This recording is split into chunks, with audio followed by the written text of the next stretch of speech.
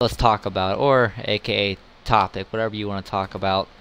Uh, this topic is going to be Call of Duty versus Battlefield. Now, if you haven't known, Call of Duty and Battlefield have been going on for like the longest time. They're one of the top biggest FPS games as of right now, besides kind of Counter Strike. Counter Strike is pretty big too. Uh, but Call of Duty and Battlefield have been a war that's been going on for like a long fucking time now. And usually Call of Duty mostly wins, mainly sale-wise. But the new Call of Duty is coming out. It's called Call of Duty Infinite Warfare. And let me tell you, a lot of people weren't happy. On YouTube, I believe it got over 1 point, near 5 million dislikes, I believe now. I'm not sure how many dislikes. I know it got over a million, though, which is insane for a game, you know, that's telling you that a lot of people do not like the trailer. Now, Battlefield got a lot of praise for their trailer, which was pretty crazy, but pretty cool. Uh, and I know some people are already, like, dick riding, I guess you can say. Battlefield 1, everyone's saying how it's going to kill COD. COD. How it's going to kill COD. And I'm just sitting here like, you never know like I like don't get me wrong, I don't think of it Infinite Warfare looks great already anyway. But you still have to go with, you know, the gameplay. Gameplay still gotta come out. And whenever the gameplay comes out, that's when I'll make my final decision. As of right now, it's just going to be kind of mixed. You know, I'll wait for the gameplay to come out. Both of them came out with a trailer. Infinite Warfare kind of looked kind of okay, I guess you can say. It didn't look fantastic in my opinion. I don't know if I'm going to buy it, mainly because of that reason. Uh, but Battlefield, of course, is likely going to... First, Call of Duty will likely outsell Battlefield. That's how it usually goes, no matter what. Mainly because I believe a lot of people are going to buy it for, for just Modern Warfare 1 Remastered, which is $80, and they're not selling it on their own, which kind of sucks. If they set it on their own, I would have bought it, but I'm not sure yet. It kind of just depends.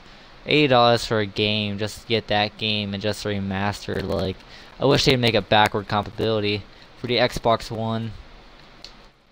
Kinda like they did, uh, well actually they never have.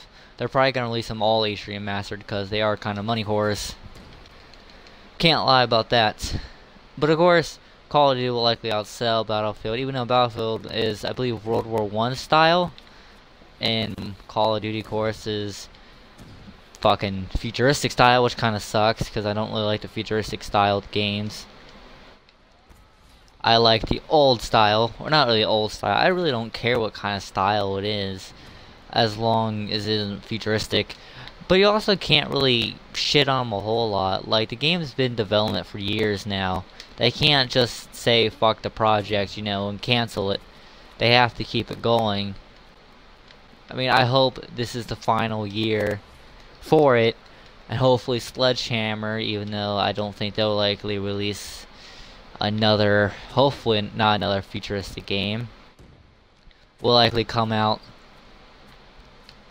uh, hopefully with a more modern or old-timey, because Battlefield 1 is coming out with a, uh, oh shit, grenade, uh, coming out with, of course, well, World War 1.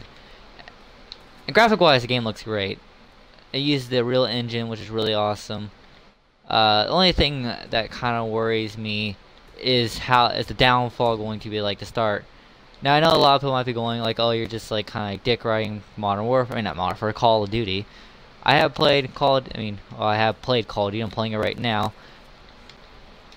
Um, but I have played Battlefield, I played Battlefield Bad Company 1, Battlefield Bad Company 2, Battlefield 3, and Battlefield 4. I played a little bit of Hardline, even though I didn't really care that much for it.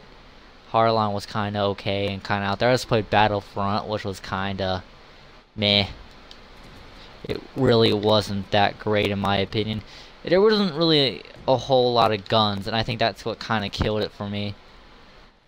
But of course, like I said, a lot of people are likely going to buy Call of Duty just to say, like, I got the remastered.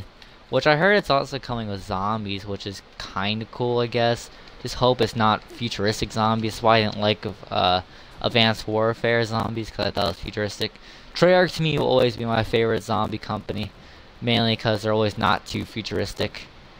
I mean, they are futuristic there and there, but not like killer futuristic. That guy's lagging. Not killer futuristic, which is kind of cool, you know. Um, but yeah, that's going to be the topic today. Um, I'll probably release another video of the next top, not topic, uh, next time when they released, that was final one. 32 and 17 ain't bad though. But I'll probably release the next video when they release both gameplays. You know, Call of Duty did kind of release gameplay. Battlefield did release a little bit of gameplay in the trailer, but not a whole lot yet. Um, so yeah, that's going to be for the topic today. If you got any more topics to talk about, I'll make sure. Next topic might be about Madden. I've been kind of thinking about that game or maybe something different. But yeah, hope you guys enjoyed. If you did, make sure to subscribe, and I